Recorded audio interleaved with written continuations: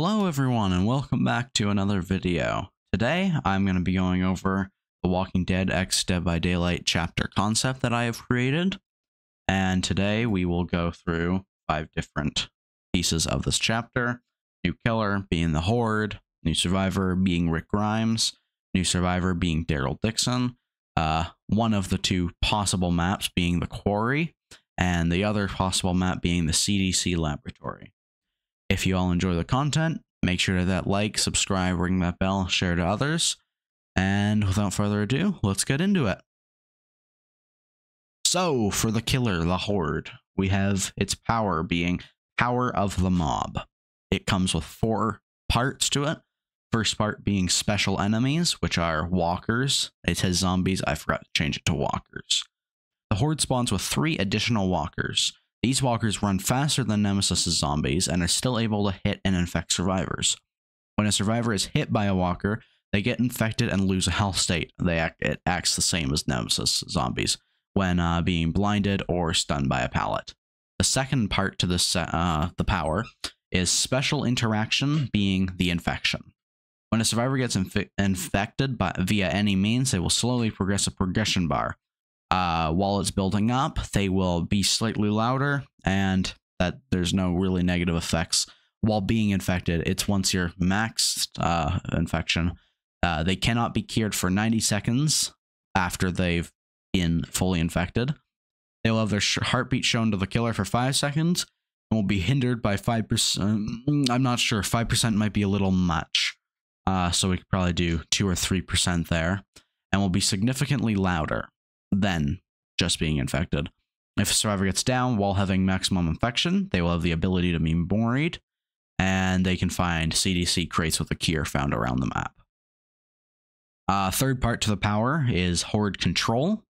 Uh, you have the ability to control any of the walkers on the map, and they will have you will have 20 seconds to control them before you're forced back into your own body. While controlling a walker, you'll move at 4.6 meters a second and can attack any survivor that you come across. Uh, when attacking a survivor via this method, it will infect them. Uh, and the last part of its ability is sprint. While controlling your main body, you will be able to charge up an active ability button for a sprint. While sprinting, you can attack, but if you miss, you will have a lengthy cooldown. While sprinting, you run at 5 meters a second. So, just a little bit of clarification here. The Horde would be like a 1 in 4 killer, kind of like the Knight, you would be one zombie, like a main zombie, which would have the skins change. And then you'd have three zombies, kind of like Nemesis zombies, which would act as I had said here. So technically, you're not playing as four characters, but it gives you that stuff on the map. FYI, just um, some of these things might be overpowered. I have tried my best to balance these uh, through different ways. But I am just please let me know in the comments what you would do to change them to try and make them more balanced. And now for the Horde's three unique perks. Now, first up is Jump Scare. When a survivor loses a health state within 10, 20, or 30 seconds of a chase, the survivor becomes traumatized for 90 seconds. Traumatized survivors suffer from a 5% hindrance and gain a 6, 8, and 10% action, penalty to action speeds. So these would be like vaulting, uh, locker, going into lockers, repairing generators, totems, healings, all or healing, and all that. Again, I'm not sure if 5% hindrance would be too much, especially for 90 seconds. Probably I would change that to probably about 2% hindrance. Bloodthirsty is a second perk uh, gain a 25, 30, or 35% uh, blood points, uh, blood point increase in all categories for every survivor sacrifice at the end of a trial. Simply, it's kind of uh, more balanced barbecue. So if you still want a blood point grind, you can do this, but you just actually have to sacrifice survivors to get it. So I think it would work out. No escape. So this is one of two perks in this concept that will take up two perk slots. Uh, I figured that was a reasonable way to counter the overpoweredness of it. But even if it is too overpowered, please let me know in the comments what you would do to change it. So, for no escape, you spawn with two hex totems and is deactivated when both uh, are cleansed. or booned, whatever you want to do with it. Uh, whenever a generator is in a trial, gain a token. All status, and once it's destroyed, all status effects will linger for 30, 60, and 90 seconds after the corresponding hex totems have been destroyed. At one token, all survivors have hemorrhage and mangled. At two tokens, all survivors have a 1%, a 1.5%, or 2% hindrance. Three tokens, all survivors become oblivious. Four tokens, all survivors become exposed.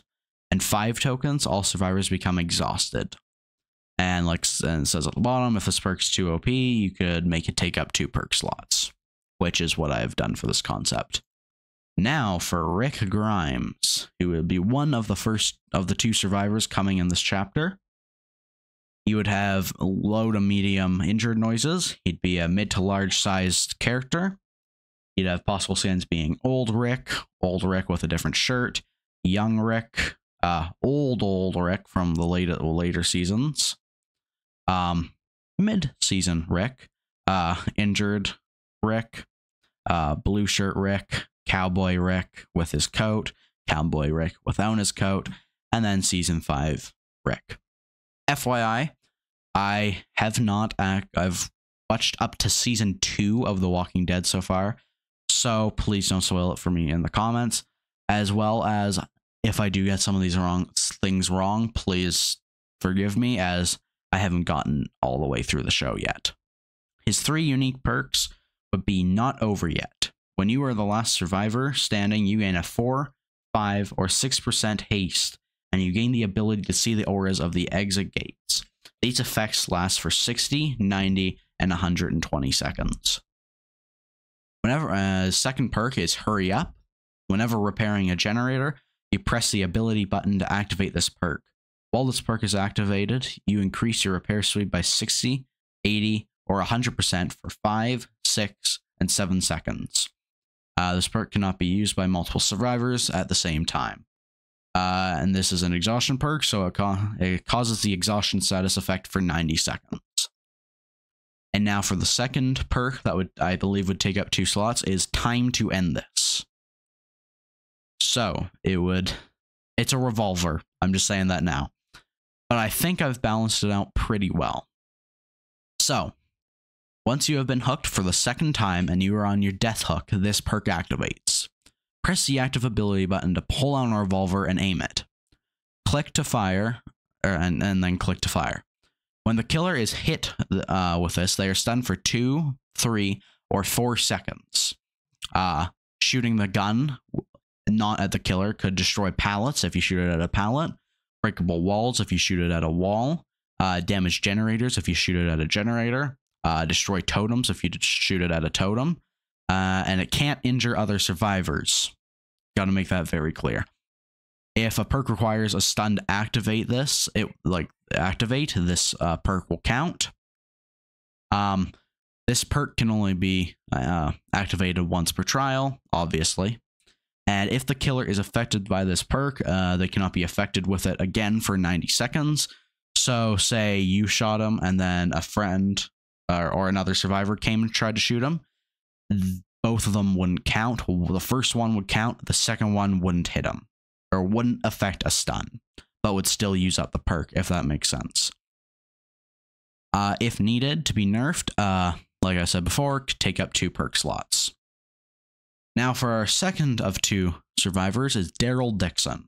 Possible skins being Season 1 Daryl, Season 2 Daryl, Cloak Daryl, Shirt Daryl, um, whatever you want to call that, Daryl, whatever you want to call that, Daryl, uh, plaid shirt, Daryl, and zombie hunter, Daryl. Uh, he would come with three new perks. His first one being Vigorous Act. After taking five, four, or three protection hits, this perk activates. The next time you're being carried by the killer, you can press the active ability button to stab an arrow into their back, stunning them. Um, if this is too underpowered, which I'm not 100% sure if it is, you could reduce it to being from 4 slash 3 slash 2. But that would be behavior's choice if they would ever bring it in. His second perk is Resourcefulness. After opening a chest, you have the ability to scavenge in the chest one time. once you use once the chest is used, it closes, and after 60, 50, or 40 seconds, the chest will open again with a new item. This chest uh, cannot be scavenged afterwards. This perk works only once per chest. So allow me to explain. You find a chest, you open it, you get an item. Simple.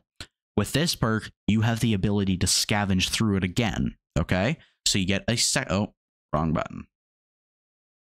Uh, let's just go back here. You so you search a chest, you get an item. Simple as that. After getting the item, you have the ability to scavenge the chest again. Get a second item. And then once that's done, the chest will automatically close. And after the duration being 60, 50, or 40 seconds, it will open again with a new item and you won't have to search for it. You can just grab it. And they'll that will only work on like works once per chest. Chest. That makes sense. Now, his third perk is Survivalist. After safely rescuing four, three, or two survivors, this perk activates. The next time you are in a chase, you gain a 1, 2, or 3% haste status effect and complete actions 30, 40, 50% faster. Uh, this effect lingers for 10 seconds after you escape a chase and then deactivates. Uh, the action speeds that would be increased would be vaulting, going to a locker, repairing, totem. So, I mean, if you can somehow get a chase and right on a totem, you could use that extra speed to do it. Uh, possible legendary survivor, like skins, not actual survivors. First one is Carol Pelletier. Uh, it would be a legendary skin for Daryl Dixon. Michonne Grimes, who would be a legendary skin for Rick Grimes. Uh, Glenn Rhee, which would also be a legendary skin for Rick Grimes. Maggie Greene, which would be a legendary skin from uh, Daryl Dixon. Dale Horvath, uh, which would also be a legendary skin for Daryl Dixon. Morgan Jones, who would be a legendary skin for Rick Grimes. Abraham Ford, who would be a legendary skin for Daryl Dixon. Hershel Greene, which would be a legendary skin for Rick Grimes. And these last two being Merle uh, Dixon, and which would be a legendary skin for Daryl Dixon, and Shane Walsh, which would be a legendary skin for Rick Grimes. I'm not sure how well those would work. I mean, spoiler alert, skip about 10 seconds in the video. They are both villains in the in second and a later later season, so not sure how well that would work. Uh, obviously, any of these could take the survivor spot. I feel Daryl and Rick are the most fitting. Um, and yeah, all these could be legendary skins. Uh, and they would all have their own voice lines. So, and they have talk like in the lobby and all that. So, just an idea. And we have three legendary killer skins, like kind of like the Hunk and um the Blight skin that's also Resident Evil. So, three, the first one would be Negan Smith, who would be very fittingly be a legendary skin for the Trickster. His knives, I think, would be replaced with combat knives, and he would have a unique Mori and voice lines. Second of the three, now I apologize if this doesn't fit, as I have not watched the season yet, but I think it would be a decent fit. Uh, the Governor as a skin for the Deathslinger. He would also have a unique Mori and voice lines. And last but not least is Beta, who would be a legendary skin for the Trapper. Uh, he would have, again, a unique Mori and voice lines. For the maps, I see two possible maps being the Quarry, which would be a new map, or the CDC Laboratory map, which either one I think could work for an incredible Walking Dead chapter. And that is it. I hope you all enjoyed the concept please let me know in the description what you think and your ideas on it. As well as please tell me if you think anything's overpowered. Please let me know like what I could do to nerf it. Um, yeah, so I hope if you all enjoyed.